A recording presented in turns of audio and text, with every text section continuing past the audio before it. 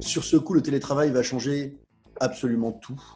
Je pense que les gens qui ont découvert comment travailler autrement vont maintenant s'interroger sur pourquoi aller au bureau demain matin. Euh, les choses vont changer à une vitesse absolument considérable sur l'utilité d'un bureau. Bonjour et bienvenue au show Minter Dialogue, épisode numéro 104. Aujourd'hui, nous sommes le 17 mai 2020. Je suis Minter Dial, votre compère et hôte pour ce podcast. Mon invité aujourd'hui, c'est Philippe Bloch. Philippe est un ami, est un conférencier de grand renommée, animateur de plateaux de grands médias, notamment BFM Business, et auteur de sept livres, avec un nouveau qui arrive prochainement. Dans cette conversation avec Philippe, nous discutons de l'avenir du travail, l'évolution de la vie au bureau et comment les leaders du business et les entrepreneurs devraient s'adapter. On touche également à l'avenir des conférences et l'adaptation nécessaire pour les conférenciers Plongeons alors dans cette nouvelle émission. Philippe Bloch, quel plaisir de t'avoir sur mon show. Ça fait longtemps qu'on se connaît et j'ai toujours apprécié ton, ton, caractère, ta personnalité et ta belle production de livres. En tes mots, comment tu te présenterais alors pour faire court, puisque ça fait quand même pas mal de vie professionnelle, euh, j'ai toute ma vie en fait été à la fois un entrepreneur et un observateur des boîtes. Un peu par hasard le métier d'observateur parce que j'ai démarré dans la presse à l'expansion, qui était à l'époque le leader de la presse économique française comme éditeur du magazine. Et tu sais que les, les entreprises qui ne se réinventent pas sont mortelles. L'entreprise a disparu. Euh, je n'y ai passé que trois ans, mais dans cette période-là, j'ai écrit un premier bouquin très jeune, en fait, qui s'appelle Service compris, qui a été un énorme succès sur le thème de la qualité de service. On n'appelait pas encore ça l'expérience client à l'époque ce qui a fait de moi effectivement bah, un conférencier comme toi. J'ai fait des milliers, enfin, plusieurs milliers. Et au passage, euh, c'est quand même le titre de livre que je guette le plus. Je trouvais vraiment, mais vraiment canon. Il était simple, il était simple, il était très très simple, et c'est peut-être ça qui a fait marcher d'ailleurs, comme souvent les idées simples. Et puis après, effectivement, bah, je suis devenu entrepreneur plusieurs fois, première boîte dans le métier euh, de la formation et du conseil. Euh, la plus belle aventure, c'est Columbus Café, qui a été en fait sur le modèle de Starbucks en 94, l'envie de réinventer les cafés français, de me réinventer moi-même d'ailleurs, de mettre les mains dans le moteur expérience passionnante, difficile, horriblement difficile, qui explique peut-être, on en parlera, pourquoi je suis censé être un optimiste, parce que dans l'adversité, on le devient forcément, et quand on l'est avant et qu'on attaque l'adversité, on s'en sort plus vite.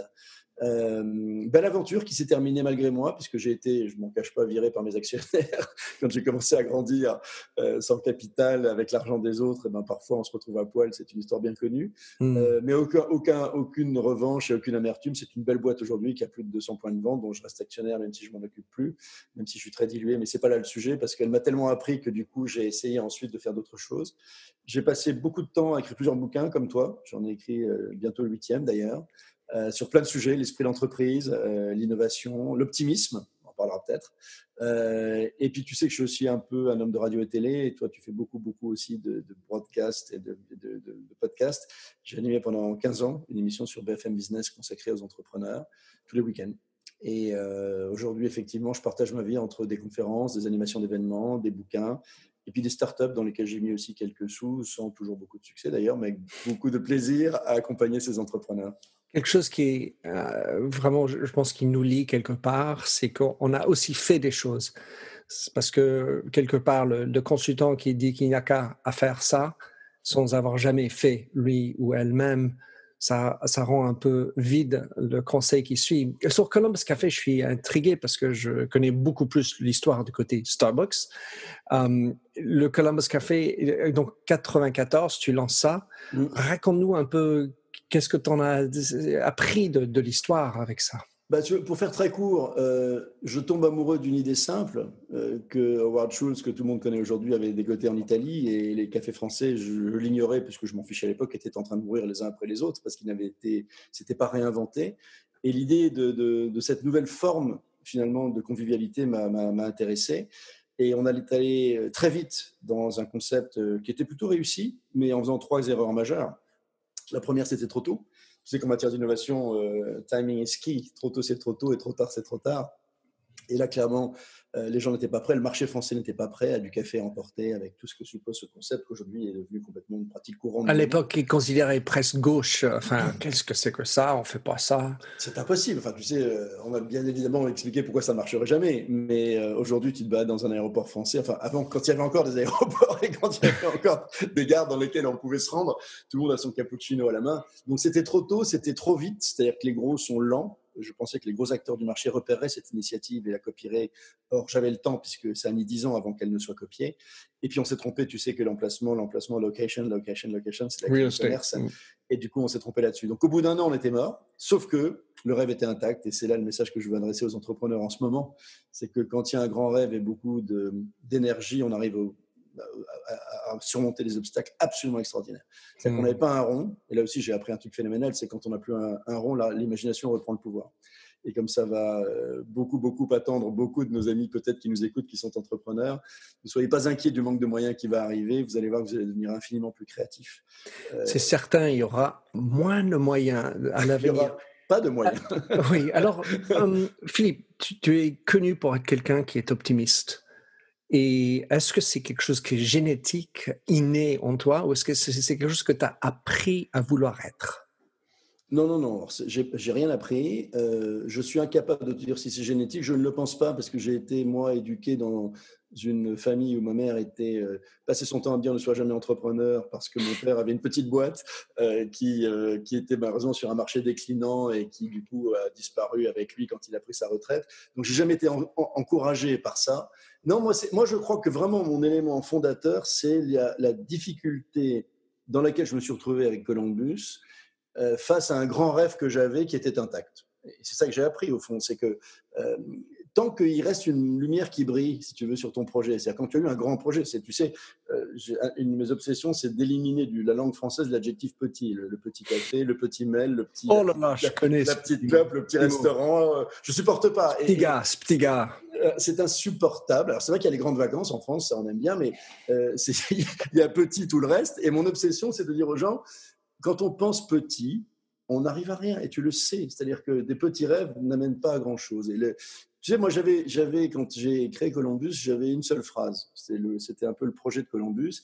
C'était de faire passer chaque jour à chacun de nos clients les 15 meilleures minutes de leur journée. Bah, quand tu as ce rêve de vendre un bout de bonheur aux gens, c'est ce qu'aujourd'hui on appelle la raison d'être, euh, enfin, ce grand débat des entreprises avant Covid, on ne sait pas si elles vont le conserver, j'espère que oui. Mais globalement, c'est ça, cette énergie qui, fait grandir et qui rend optimiste. Et puis tes échecs surmontés, euh, bah, finalement, te font comprendre que la ténacité vient à bout de tout. Tu sais, j'avais acheté, je le raconte souvent ça, mais j'avais acheté euh, dans un aéroport américain un, de ces petites pierres en plastique euh, avec un truc à la con, mais qui te fait penser tous les matins euh, au sens de la vie. Et il disait en fait winners never quit et quitters never win. Et je crois que c'est ça en fait qui fait l'optimisme. C'est pas de nature. Je crois pas que ce soit par nature. Je crois que ça s'apprend. Euh, c'est comme le bonheur en fait. C'est un truc, une décision qu'on prend le matin en fait. J'adore ton rêve aussi, ça, c'est très parlant. Et puis, en fait, ça s'est exprimé à travers Columbus Café, mais tu l'as quand même gardé parce que tu rayonnes quand même et tu as toujours envie de donner du plaisir aux gens. Un bonheur. Bah, tu sais, on, partage tous les deux un métier qui est celui de conférencier, qui va évoluer d'ailleurs de manière, on va peut-être en parler ensemble. Tout le monde s'interroge sur l'avenir de cette activité aujourd'hui, quand on ne pourra plus être ensemble. L'autre jour, j'ai testé, euh, comme tu l'as sans doute fait, je sais que tu, tu réponds à beaucoup de webinars, etc., toi-même aussi. Et je me dis, qu'est-ce que c'est triste d'être face à un écran sans avoir ce public à qui on peut donner de l'énergie et récupérer leur énergie, la canaliser, la leur redonner, voir à quel point, à quel moment ils décrochent et les rattraper, etc. c'est un des trucs qui va être terrible et qu'il va falloir qu'on arrive à, gérer d'ailleurs dans, nos métiers. Euh, mais donner un petit peu d'énergie à des gens qui en manquent, c'est quand même un vrai bonheur. Mais ça, c'est le job des entrepreneurs. C'est l'entrepreneur, il a quand même une caractéristique majeure. C'est en fait son job, c'est d'importer des, d'importer des emmerdes et d'exporter de l'enthousiasme. Euh, c'est ça, ça, notre métier d'entrepreneur. Et ben, c'est ça qui nous donne notre énergie, parce que donner cette énergie est juste génial. Alors, parlons, parlons-en de, de l'avenir du, conférencier, parce qu'évidemment, c'est un sujet qui me touche particulièrement. On est, on est face à l'écran. Évidemment, demain, il n'y aura pas que l'écran, parce qu'en fait, ça va arrêter à un moment donné. Mais comment est-ce que tu, imagines l'avenir? Est-ce qu'on va être euh, euh, forcé d'avoir la moitié de la salle toujours vide? Est-ce qu'on pourra plus jamais rentrer et toucher les gens? Qu'est-ce que tu imagines pour les speakers de l'avenir? Écoute, je sais pas. Moi, je, comme toi, je connais beaucoup, beaucoup de conférenciers un peu poids lourds du circuit avec lesquels on échange, etc. Personne n'a de conviction définitive sur rien, puisque de toute façon, on n'a pas de visibilité. Euh, tout le monde se pose le problème, et notamment ceux qui sont beaucoup sur l'affect dans leurs conférences, sur l'émotion, sur comment est-ce qu'on va pouvoir euh, prendre du plaisir. Parce que c'est un métier, tu sais, moi je pense, ça, paraît être fou, mais je pense que j'ai fait plus de 3000 interventions dans ma vie. Et chaque fois, je me dis, quand, est-ce que ça va s'arrêter? Ça va s'arrêter. C'est pas possible que ça continue éternellement. Et surtout que je n'ai jamais rien demandé. les gens m'ont toujours appelé, comme toi, probablement. Donc, je me dis, quand est-ce que ça va s'arrêter? Et je me suis toujours dit, ça va s'arrêter quand on n'aura plus envie parce que tu ne prendras plus de plaisir. Euh, parce que ça, se sent, et ça se sentira. Et là, ça se verra tout de suite. C'est que si tu le fais pour l'argent, ça n'a aucun sens. Et quelque part, je, ma crainte aujourd'hui, ma véritable interrogation sur l'avenir du métier de conférencier euh, sur euh, ce genre de, dans ce genre de contexte, c'est que s'il n'y a plus le plaisir, si on ne donne plus ce plaisir, en fait, je ne vois pas comment euh, ça peut encore fonctionner. Et je ne pense pas qu'on le retrouvera, même si on fait des, améliorations sur la partie digitale dans ce domaine-là. Mais je crains vraiment, si tu veux, que euh, le plaisir que nous prenions avant ne, ne perdure pas. Et du coup, en même temps, je me dis qu'il risque plus probablement d'y avoir un moment où on va faire des autrement. On fera des webinars, on fera des trucs. Euh, tu sais, moi, le, un des pires souvenirs de ma vie, c'est que, euh, en termes de conférencier, c'est un jour où il m'avait mis un. J'avais un micro, j'avais face de moi des gens avec des casques parce qu'on était dans une salle un peu mmh. bruyante. Donc, en fait, on, avait. autour de moi, il y avait les mecs qui vendaient leurs trucs sur des stands. Et je parlais des gens qui me regardaient comme des cons, comme avec leur, leur, casque. Et, ils t'entendaient. Ils t'entendaient. Ils m'entendaient bien. Ils m'entendaient. Et il n'y avait, aucun, aucun de mes trucs habituels qui fonctionnent ne marchait parce qu'on n'avait pas ce truc de l'humain, si tu veux. Et hmm. quelque part, je pense que intuitivement, à un moment, heureusement, il y aura un vaccin. On va recommencer à se parler, à se voir. On sortira de ce truc-là. On va vaincre cette saloperie de, Covid-19. Euh, donc, je fais plus le pari qu'entre-temps, on aura des moments euh, qui seront intéressants, mais moins intenses. Mais qu'à un moment, on continuera et que malgré tout, sur ce métier-là, la technologie ne remplacera jamais cette espèce d'énergie, d'effusion, de bonheur, de se foutre sur la gueule, d'être interrompu, de convaincre, de revenir. Bon, et ben voilà, on va attendre un petit peu, il faut faire le dos rond. Moi, en, t'écoutant, j'ai envie de penser que en étant euh, avec l'imagination dont tu as parlé au début, on va utiliser l'imagination pour améliorer nous dans un confiné dans une boîte qui s'appelle la maison aujourd'hui, mais demain l'écran. Et, si j'arrive à transmettre des choses mieux à travers ce système, combien mieux je peux le faire une fois que je reviens sur scène, où je peux redéployer le contact, euh, le mouvement euh, qu'on aime bien faire. Et à la fois, je me suis dit, tout comme le problème de travail à distance, il y a aussi un problème avec l'ego. Et je parle pour moi car en fait, il y a un côté euh, plaisir à l'ego quand, euh, à la fin du discours, il y a euh, beaucoup d'applaudissements. Enfin, il y a ce côté. C'est ton énergie, c'est l'énergie qu'elle te donne. Voilà. Et, et, un des plus grands problèmes que je perçois dans le, un transfert au travail à distance, c'est l'ego du patron qui, qui n'a plus son bureau énorme, qui de prestige, où il n'a pas ses c'est Gus autour de lui en train de dire oui monsieur, oui monsieur, et, que bah, tout d'un coup, lui, il va être pas content. Je dis lui parce que souvent c'est un lui qui a généralement en plus cette euh, forme d'ego. Et que, hum, donc, en parlant en tant que conférencier, je, pense que j'ai une certaine humilité, mais je sais que j'ai un ego fort et, euh, je suis très euh, de l'avant, et, je pense que je vais devoir aussi m'arranger avec mon propre ego.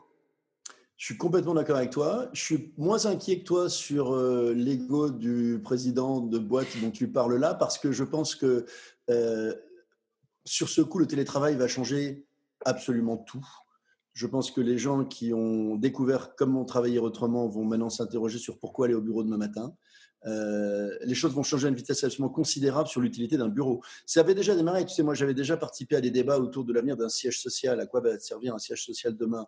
Euh, au moment où on commençait à se dire il y a du l'espace de coworking sur lequel on peut regrouper des talents de nature différente pour innover, faire des, projets collaboratifs, etc. Et il me semble que demain, le, management va, évoluer de manière considérable parce qu'effectivement, le management à distance n'est pas le management de la proximité, que les lieux, les bureaux vont être des lieux d'échange de, de, retrouvailles, de créativité. On n'aura plus la même rapport. Je pense que ce qui a eu du mal, je pense que ça va être une espèce de tire-bouchon sur certains blocages, en fait, mhm. cette explosion du télétravail, cette envie que les gens vont avoir de ne pas revenir vivre dans les grandes villes. Tu sais que je suis convaincu qu'il va y avoir une mutation du marché immobilier en France phénoménale. Euh, on voit en, ce moment euh, l'explosion de, de, consultations sur les sites Internet, des gens euh, qui cherchent des petites maisons avec jardin, accès aux soins et au débit dans un petit patelin sympatoche de France. ils n'auront aucune envie de se retrouver dans des villes surpeuplées, verticales, euh, minéral, pollué, à faire deux heures de bouchon le matin pour voir des gens de toute façon dont ils peuvent très bien se passer, des, réunions inutiles, des séances de brainstorming interminables et chronophages. Il va y avoir des mutations terribles. Et je pense que le management va évoluer de manière absolument considérable. Il y a un truc à l'intérieur de ça. Qui, donc, j'ai une petite histoire. C'est un copain qui, qui me raconte. Il, il, vit à côté de Brighton, en Angleterre.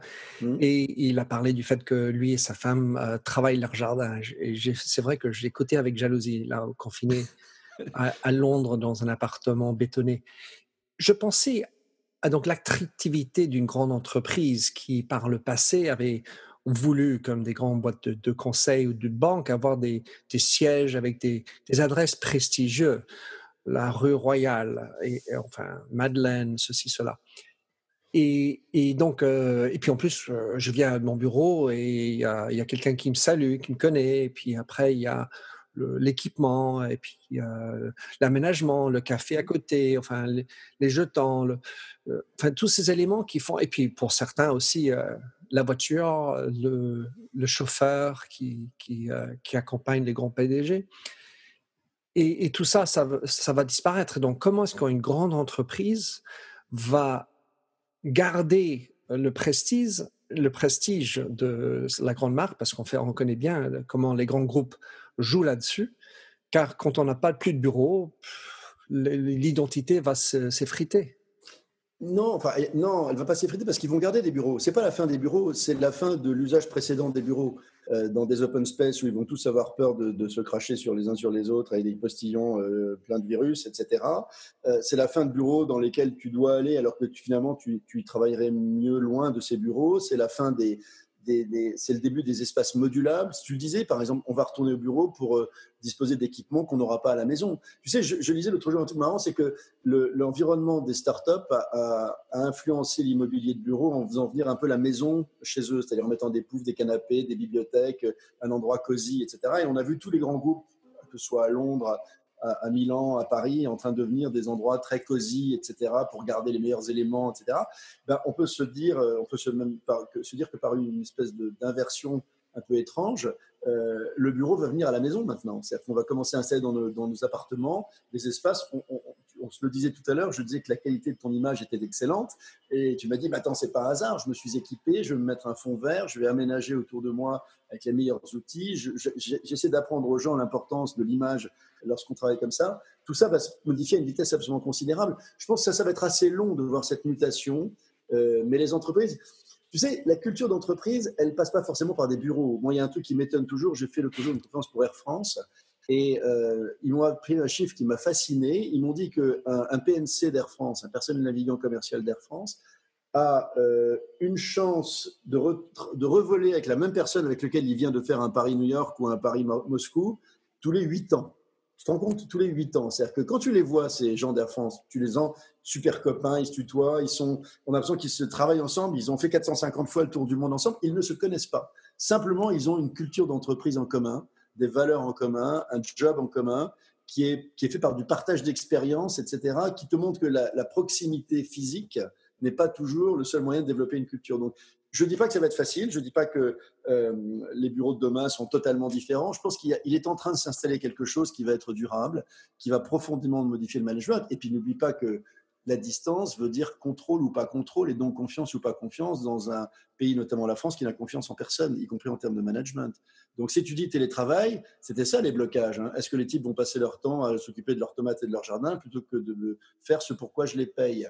Qui est la, nature française de toute façon. Mm. Je te rappelle que 80% des Français pensent qu'il faut faire confiance à personne. Donc c'est un, vrai sujet versus 80% euh, des Suédois qui pensent à l'inverse et des Danois aussi.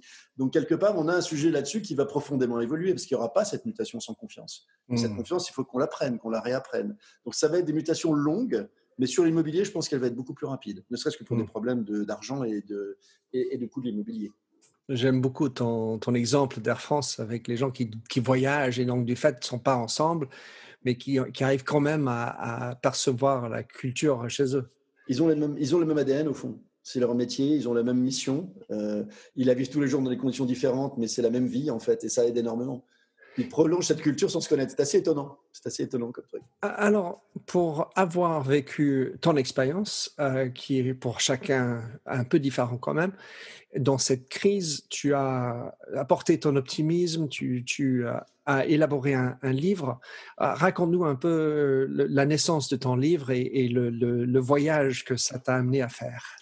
Alors, j'ai presque peur d'en parler tellement je trouve ça prétentieux de se dire qu'on peut écrire un bouquin en pleine crise.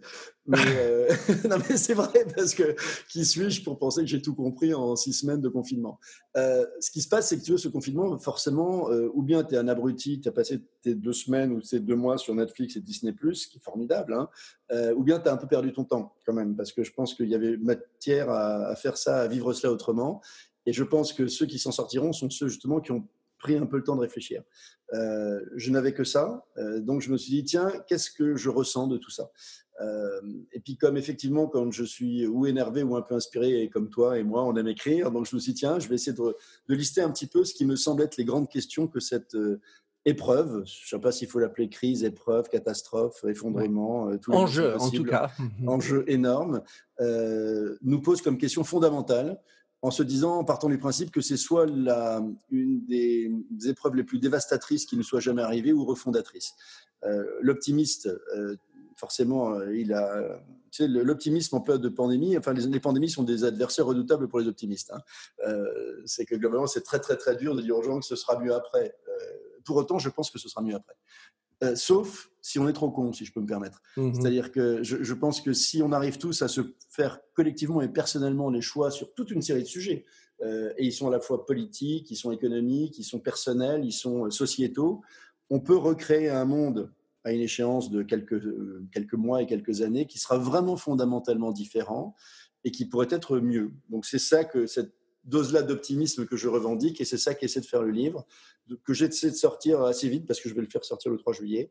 Euh, je- Félicitations, Philippe. Bon, non, non, non, c'est peut-être Si, complètement- si, complètement con de ma part de penser que j'ai même euh, suffisamment de quoi alimenter la réflexion des gens, mais j'essaie d'avoir un regard à la fois réaliste et positif, parce que je pense que si, parce que globalement, soyons clairs, là, on a eu la crise sanitaire, ok, elle est difficile, on s'en sort bien, heureusement, parce qu'avec tous les sacrifices qu'on fait, heureusement qu'on s'en sort bien, et je ne dis pas ça évidemment par rapport aux quelques dizaines de milliers de morts abominables, je, respecte tout ça éminemment. Moi, je considère que ça, maintenant, ça suffit, qu'il faut repartir bosser, et qu'il faut qu'on arrête d'avoir peur de tout. Enfin, je, pense qu'on est en train de se transformer en trouillard convulsif et que si on commence à ce, à ce point à avoir peur de l'avenir, de l'autre, de toucher un bouton de porte, etc., on va finir complètement dingue et que le coût de ce, euh, de ce confinement va être infiniment supérieur. Et je pense qu'on partage ça aux effets collatéraux de ce, ce confinement. Et qu'aujourd'hui, effectivement, euh, il faut qu'on reparte à la guerre, mais la guerre va être sauvage. Ça va être terrible économiquement, terrible. Ça va être un champ de ruines. Euh, et heureusement que les entrepreneurs ont cette capacité et cette résilience qu'ils ont toujours démontré d'ailleurs. Et d'ailleurs déjà ces capacités disruptives. On a vu des choses extraordinaires se mettre en œuvre depuis depuis deux mois, ne serait-ce que la façon de faire tourner un pays qui, qui est à l'arrêt euh, en étant ni mort de faim, enfin, est extraordinaire globalement. Donc moi je suis très confiant, plus dans la capacité des entrepreneurs à sortir de cette crise malgré l'adversité que dans les Français en général à sortir de cette crise parce qu'on est quand même un peuple globalement dépressif. Et euh, du coup, je pense qu'on a quand même un peu besoin en ce moment d'entendre que c'est possible. Parce que globalement, quand on ouvre la télé et qu'un truc qui me frappe, tu vois, je ne sais pas si tu as remarqué, qu'on voit en gros 20 médecins réanimateurs sur les plateaux télé pour un seul économiste. Euh, c'est quand même un vrai signal. C'est-à-dire que personne ne parle du dégât économique et qu'on passe son temps à avoir des avis contradictoires de gens qui finalement avouent qu'ils ne comprennent rien à ce virus les uns les autres, qui se contredisent tous, ça nous pose quand même de vrais sujets. Donc quelque part, voilà, je me suis dit, tiens, est-ce qu'il n'y a pas 15, j'en ai 14 en fait, je, je regarde mon truc, j'ai 14 chapitres qui sont 14 trucs sur lesquels on a deux choix. plus ou moins, ceci plutôt que cela. et c'est comme ça que va être construit le bouquin, en fait. Quand j'écoute ce que tu dis, un sur les médecins, ma sœur et, son mari sont médecins aux États-Unis, et je parle avec eux. Évidemment, eux, ils connaissent beaucoup plus la santé que moi, mais on, ignore complètement l'impact sur les médecins qui ne sont pas au franc. On a, enfin, aux États-Unis, j'ai entendu un chiffre, mais je ne sais pas vérifié. Style, il y a 50 000 médecins au chômage aux États-Unis. Mmh. Ah oui, je ne savais pas. Et puis, bon Dieu, des nombres d'infirmiers, tous les autres personnes non critiques à ce virus. Oh là là, on, commence à, à réfléchir Bon, aux États-Unis, il y a plein d'autres problèmes. Je voulais te demander, Philippe, tu as commencé avec une réflexion sur comment toi tu sentais les choses. C'est là où tu as commencé à faire de l'observation à partir de toi ou c'était simplement tes observations d'autour? Non, c'est moi aussi. Enfin, il y, a un chapitre qui est, euh, je ne sais pas comment je l'ai appelé, mais hmm. euh, courir après le temps versus le temps retrouvé. Mmh moi, j'ai passé ma vie comme un con dans, à, prendre 120 métros, 120 avions par an, euh, TGV le matin à 6 heures du matin, à, courir après je ne sais pas quoi finalement, globalement. Et tout d'un coup, pendant deux mois, je me dis, mais finalement, la vie peut être différente, à un rythme différent. Est-ce que le temps que je n'ai pas consacré à d'autres choses ou à d'autres gens ou à d'autres activités mérite pas d'être repensé. Ce n'était jamais arrivé. Euh, avant, les gens, euh, quand j'entendais parler de décroissance, ils m'énervaient, les gens qui prenaient la décroissance, un peu des idéologues de la décroissance, des objecteurs de croissance, je trouvais ça ridicule. Là, je me dis quand même, on vient de vivre là deux mois, euh, en gros, où on n'a rien consommé. Est-ce qu'on a moins bien vécu? Est-ce que moi, qui comme un couillon depuis à peu près 10 ans, chaque année, je suis fier d'acheter le nouvel iPhone en septembre pour montrer que j'ai le dernier iPhone? Est-ce que c'est pas la plus grosse connerie? Qui soit imaginable sans devenir un écologiste euh, absolument forcené Est-ce que ça méritait d'enlever toutes ces matières premières euh, de la Terre pour construire un nouvel iPhone avec quelques pixels de plus sur mon appareil photo? C'est des trucs que jamais, jamais je m'étais posé ces questions. Tu vois, comme mmh. il était temps que je m'y mette hein, à mon âge. Mais, mais, quelque part, ce sont des vrais sujets. Euh, l'histoire de te dire, est-ce que j'étais, tu le sais, parce que on, en parlait un peu en antenne ensemble, était contraint de me déplacer de Paris pour s'occuper de ma mère qui est, qui est, malade et qui est en, en province, dans le sud de la France. Euh, ça fait longtemps que Paris me sortait par les yeux. Euh, aujourd'hui, j'ai plus aucune envie d'y retourner. Euh, donc, ce, que j'ai ressenti de, des, bien-être d'une vie ailleurs, autrement, avec aujourd'hui toute la technologie qui nous permet de visiter une magnifique exposition au Louvre sans avoir les gens qui sont les uns sur les autres, me fait vachement réfléchir. est-ce que l'Europe, est-ce qu'il faut plus d'Europe ou moins d'Europe? Évidemment, il faut plus d'Europe mais pas la même. Moi, j'ai pas envie, après cette crise, d'être dans la même Europe que Victor Orban, qui a profité du fait qu'on avait le dos tourné pour devenir un fasciste euh, en Europe et partager la même Europe que lui. J'ai pas envie de ça. Est-ce que euh, la santé ne fait pas partie aujourd'hui de, des, des, prérogatives de l'Europe? Est-ce que c'est ça qu'on veut demain? Et en, laissant justement la santé entre les mains de nos amis chinois, on n'en a pas envie non plus. Euh, je, me dis qu'aujourd'hui, on a beaucoup critiqué les médias parce qu'ils ont été très anxiogènes. Euh, notamment les chaînes info, qui ont participé à cette, ce côté abominablement anxiogène, ce, décompte mortifère des, décès tous les jours, etc. Mais je me dis que je préfère quand même ça que les fake news euh, qui créent du populisme, euh, parce que malgré tout, informer, c'est un métier, et donc il faut qu'on fasse le choix de nos, nos sources d'information à l'avenir, parce que à force de raconter n'importe quoi sur et à force d'ailleurs d'insulter la presse, regarde à quel point Donald Trump, avec en insultant à la fois les scientifiques et les médias depuis des années, est en train de, tuer la démocratie et de, générer du populisme américain plus fort encore qu'il n'existait. Ça, c'est un choix. Check News ou bien Real News, c'est un vrai choix qu'il faut qu'on fasse dans nos vies personnelles. On dit la mondialisation, la relocalisation, tout ça, il faut arrêter de mettre tout ça chez les Chinois, les esclaves du monde, etc. Ok, fine. Mais à ce moment-là, on aura des PC qui vont valoir 5000 dollars au lieu de 1000 est-ce qu'on veut ça? J'aimerais bien ça, mais il faut qu'on l'assume. C'est-à-dire qu'il faudra peut-être qu'on utilise notre temps et notre argent différemment. Tu vois, donc c'est à la fois, tu me disais comment c'est venu, c'est beaucoup de, ce que toi et moi, on a passé notre temps probablement à, lire, à observer, à écouter, à regarder qui dit quoi. Et je me suis fait un peu, non pas, c'est pas mon job de développer mes convictions à moi, mais quelque part, sur toutes ces questions, moi, elles m'interpellent en tant que citoyen. Mm. Euh, et je me dis, c'est ça que j'ai envie de partager. Je ne prends pas position, j'offre juste une analyse sur chacun de ces sujets, sur euh, au fond vers quoi on peut aller. Alors j'ai une position dessus évidemment, mais c'est pas pas l'objet. À la fois, donc j'espère qu'il y a un, grand changement. Et puis comme toi aussi, j'ai pensé à ça même avant qu'on y arrive. C'est le sujet de mon prochain livre, mais qui sortira après le tien, alors que je l'ai commencé bien avant. Ça, c'est l'avis d'éditeur anglais là. Euh, Faut, tu devrais t'auto-éditer comme moi, c'est plus Oui, oui, ai, j'ai fait l'expérience j'en ai, j'ai fait l'expérience et pour une raison, j'ai décidé de me faire éditer à nouveau. Hum, c'est que on sait qu'aussi on a un, vrai problème par le passé dans le capitalisme et la, gestion des budgets. Et, donc, euh, avec le, vieillissement des populations, l'équation euh, nous a amené à, devoir continuer le progrès pour pouvoir nous payer, nous les vieux, notre retraite, car il y a moins de jeunes, parce que nous avons décidé d'avoir moins de jeunes. Donc, le, modèle économique derrière ça, je ne sais pas comment ça va se faire. Je voulais juste revenir sur un point que tu as dit tout à l'heure, qui est sur le sujet de ben, les entrepreneurs sont plus résilients. Quand je pense à certains patrons que je connais bien, connaissais bien, ils sont un peu forcenés, euh, on va dire, aller de l'avant, allez, on, on, y va. Ils ont été, on va dire, façonnés de cette manière. Et, je ne suis pas sûr que ça va tomber sur les bonnes oreilles, la manière qui vont redire, bah, écoutez, on y peut, on y va, on y croit. Parce qu'en fait, eux, ils sont payés par les actionnaires pour la réussite de la boîte, mais le ressenti à une vision, une mission, à une raison d'être, une raison d'être, plus que juste payer pour avoir un actionnaire content ou contente quand il s'agit de ma boîte avant, euh, il ne va pas vraiment comprendre le point clé que toi tu as dit, c'est je me suis retourné sur moi pour ressentir moi. Se permettre ce côté perso, que j'ai des vulnérabilités, que moi aussi j'ai pas aimé cette période, moi aussi je pense à autre chose, et que juste vendre des boulons et, des, des shampoings, pas aussi important que ça.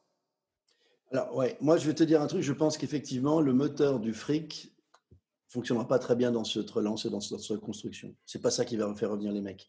Je pense qu'effectivement, on a vécu des choses euh, intenses. Euh, ce débat autour, tu sais, de ce qu'on appelle maintenant partout ces héros du quotidien, ces métiers invisibles, ces gens qui, sans lesquels on n'aurait pas pu euh, faire ce qui a été possible, c'est-à-dire survivre simplement, va nous va rester longtemps. C'est probablement une des choses qui risque de disparaître longtemps, vite, pardon, si on n'y prête pas attention en tant qu'entrepreneur. Je pense que ça va être le métier des entrepreneurs de ne pas lâcher la pression là-dessus parce qu'on a beaucoup entendu dire qu'il faudra mieux les rémunérer, etc. Aujourd'hui, tout le monde est d'accord. Dans six mois, tout le monde va dire oh, bah, ça va, ah, c'est pas la peine, on va pas s'emmerder, ils vont continuer à livrer le soir. Et moi, et moi. Voilà, et moi, hein, me first, c'est vraiment euh, c'est tout pour moi et plutôt que tous pour un. Euh, et, globalement, je pense que ça va être le job des entrepreneurs justement de changer de braquet là-dessus.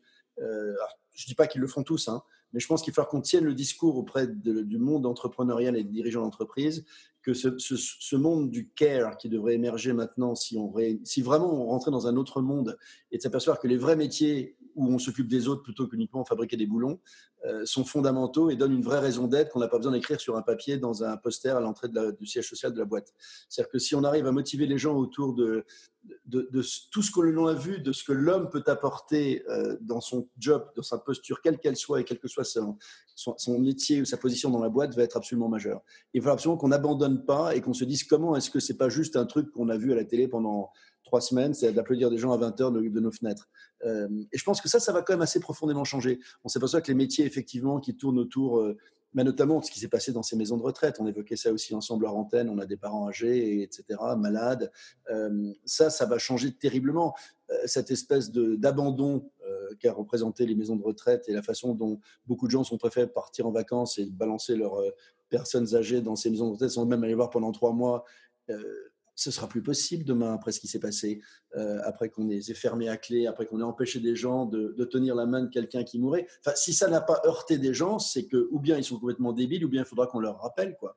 Je pense que les gens, euh, je pense sincèrement, tu vois, qu'il y a eu une telle intensité, des choses tellement émotionnelles, tellement intenses, qu'il y a une chance cette fois-ci que on parlait de l'humain avant on a tous vu ces grands bois dans lesquels on a pu intervenir, l'homme, human first, machin, etc. Puis on, sait bien que c'était du bullshit. Euh, c'était pas vraiment les, convictions profondes de ces dirigeants. Je pense que bah, ces dirigeants-là, qui ont été aussi confinés, qui ont pu réfléchir, ils vont, ils vont penser différemment. Moi, je suis assez, assez, ça va pas être simple, hein, ça va pas être facile, ça va pas être truc je crois à la capacité des gens collectivement à évoluer, mais il faut qu'on les accompagne. Non pas de manière doctrinaire, mais, mais de les convaincre que le CARE, c'est l'avenir. Oui, parce qu'il va y avoir plein de doutes. Le, sujet qui m'intrigue, dernière question, Philippe, c'est autour de la raison d'être. Car en France, d'après ce que j'ai compris, il y a maintenant une loi pour certaines entreprises qui doivent écrire une raison d'être. C'est peut-être du bon timing. Est-ce que tu penses que c'était une bonne idée et est-ce qu'il y aura une suite par rapport à la volonté derrière ça? C'était une bonne idée si ça a convaincu trois entreprises qui n'auraient pas fait sans cela, mais pour moi, c'est une aberration totale de devoir écrire dans une loi qu'il faut une raison d'être, de la même façon qu'on a tué la France en inscrivant dans la Constitution le principe de précaution en 2005, qui est la plus grande connerie de l'histoire de l'humanité en France, enfin de l'histoire de France. C'est pourquoi on est devenu des trouillards? On n'a jamais aussi eu peur et on n'a jamais été aussi inquiet de l'avenir alors qu'on est le pays le plus protégé au monde. il faut arrêter les conneries. Entreprendre, aguerri, surprotégé, affaibli.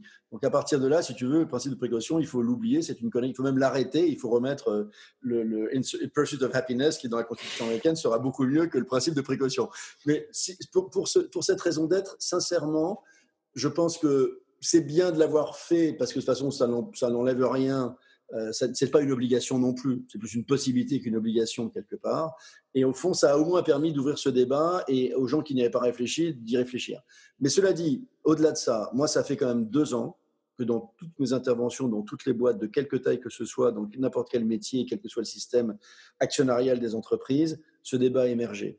Euh, et il était posé de manière relativement sincère par des gens qui s'apercevaient bien que le pognon n'a jamais été une motivation, mmh. qu'un euh, compte d'exploitation, que des KPI ne font bander personne, et que, que, quelque part, quand tu ne sais pas pourquoi tu te lèves le matin, ce retour du sens c'est même too much, tout le monde ne parle plus que du sens, etc. Mais pourtant, c'est une réalité. Et notamment chez les jeunes. Tu évoquais les, les jeunes, euh, et je pense qu'aujourd'hui, il me semble véritablement qu'ils ont, eux, envie de, de, savoir pourquoi ils se lèvent le matin. Donc tout ça va pousser terriblement. Donc si c'est inscrit dans la loi, ça aide un peu, tant mieux. Mais de toute façon, ce n'est pas ça qui le fera faire par des gens qui ne veulent pas le faire. Euh, je pense que c'est plutôt qu'on assiste là à une poussée sociétale très forte là-dessus. Et c'est bien que ça arrive en même temps que toutes ces réflexions personnelles que chacun a pu se poser. Parce Souvent on dit elles pourront prendre de l'ampleur. Souvent, on dit quand on a besoin de l'écrire, c'est qu'on ne l'a pas. Oui, bien sûr. Euh, et, je, prends une, dernière réflexion sur l'histoire de précaution. Le langage est, structurant quand même. Et quand on, est, on va de l'avant avec euh, on veut, du financement dans les, les, Américains, on appelle ça aller chercher du capital aventure. Mmh. Euh, quand il s'agit de faire la même chose en France, il y a le mot risque. C'est terrible. take a chance, prendre un risque. Hein. Philippe, comment est-ce que quelqu'un peut te suivre, euh, acheter ton prochain, et réserver ton prochain livre qui sort en, juillet, ou, euh, ou bien te connecter avec toi? Écoute, le plus simple, c'est euh, mon site web, philippeblock.com, tout attaché, philippeblock.com. Et puis, bien sûr, ben, on, peut, on peut échanger par Twitter, sur Facebook, sur LinkedIn, je suis partout comme tout le monde mais avec grand plaisir. Philippe, merci d'avoir participé avec moi. J'ai adoré la conversation, je ne m'en doutais pas. Et euh, je te souhaite bien bonne énergie pour la suite. Merci Minter, take care. Merci de nous avoir écoutés sur Minter Dialogue en français. Vous trouverez tous les liens et références cités lors de cet entretien sur mon site minterdial.fr. Pour vous inspirer, je vous laisse avec une chanson que j'ai écrite dans ma jeunesse, A Convinced Man.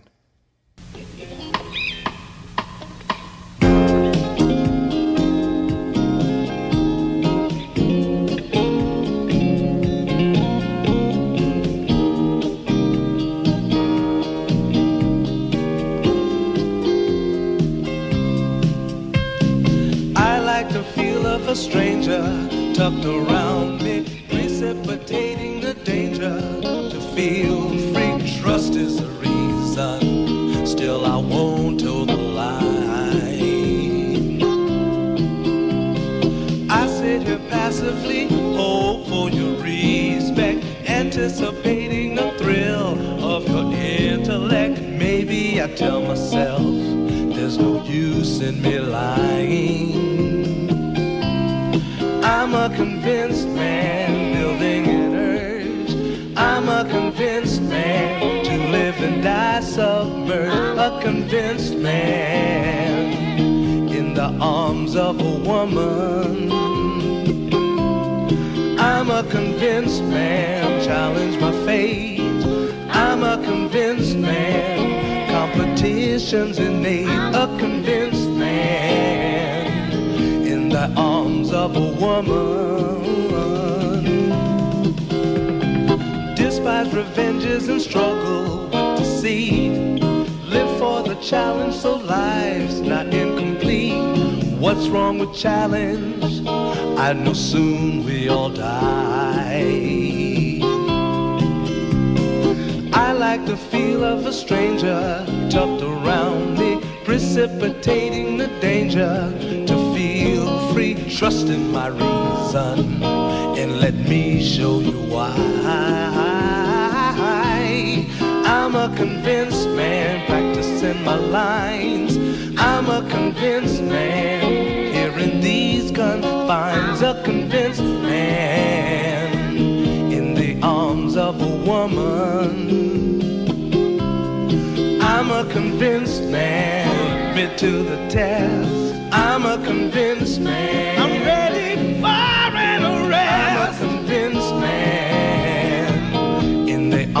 Of a woman.